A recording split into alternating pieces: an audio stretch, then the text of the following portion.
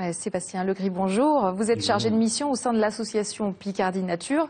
Euh, vous avez, vous, effectué hier le comptage euh, des oiseaux morts sur la plage. C'était de l'autre côté de la baie de Somme, à Cailleux-sur-Mer. Voilà. Quelles ont été vos observations?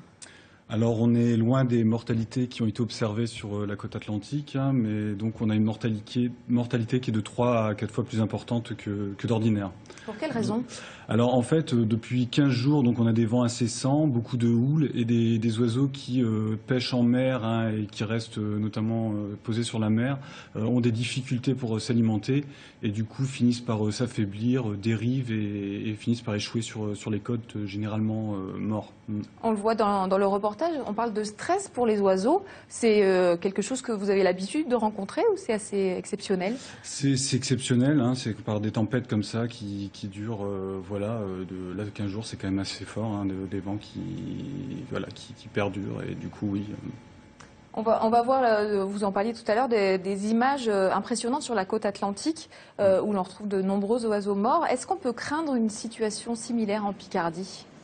Alors là, actuellement, on a été bien protégé jusqu'ici, donc euh, à moins que vraiment les, vents tournent plus euh, vers nous, et là, oui, on peut, avoir ce genre de difficultés, surtout si ça continue. euh, là, on a encore une semaine qui va être très, très venteuse, donc oui, on peut avoir des situations qui, deviennent plus, plus graves que ce qu'on voit actuellement. Et quelles peuvent être les conséquences sur les populations d'oiseaux?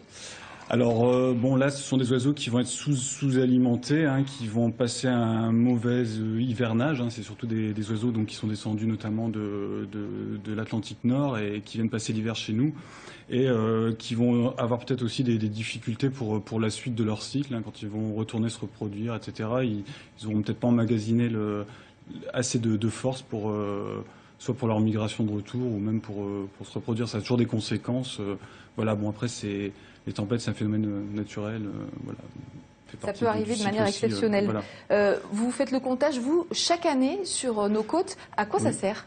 Alors, à quoi ça sert? Alors, on va euh, voir déjà bon, le, nombre d'oiseaux morts euh, dans, le temps. hein. donc, c'est toujours intéressant de, suivre, euh, voir notamment les, les espèces qui sont les, les plus touchées, les plus impactées.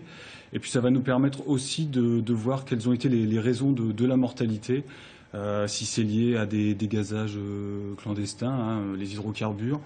Euh, ça peut être aussi lié aux matières plastiques très, très nombreuses, hélas, euh, dans, dans les océans et dont certains oiseaux, oiseaux sont victimes. Euh, les filets de pêche, euh, voilà. Donc c'est tout ça que l'on va qu'on va pouvoir, suivre avec nos, nos bénévoles. On fait des, ramassages, euh, voilà, tous- tous les 15 jours en ce moment. Merci beaucoup. Merci Sébastien Legris. Vous êtes, je le rappelle, chargé de mission au sein de l'association Picardie Nature.